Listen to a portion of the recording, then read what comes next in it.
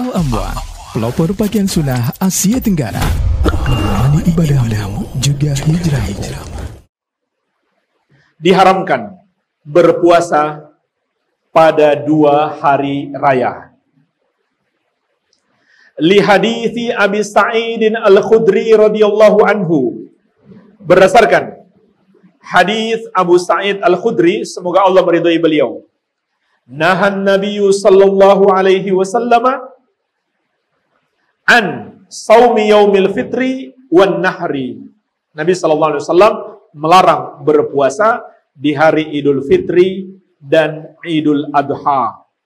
Diriwayatkan Al-Bukhari.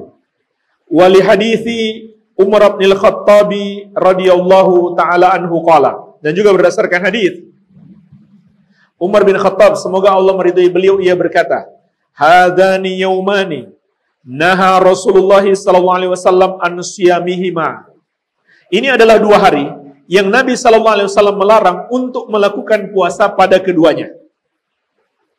Yaumi fitrikum min siyamikum. Wal yaumil akhar ta'kuluna fihi min nusukikum. Yang pertama, hari kalian berbuka dari puasa kalian. Maksudnya Idul Fitri. Hari yang kedua adalah hari kalian memakan sembelihan kalian, yaitu Idul Adha. Diriwayatkan Al-Bukhari. Jadi jelas Idul Fitri dan Idul Adha diharamkan berpuasa. Hada.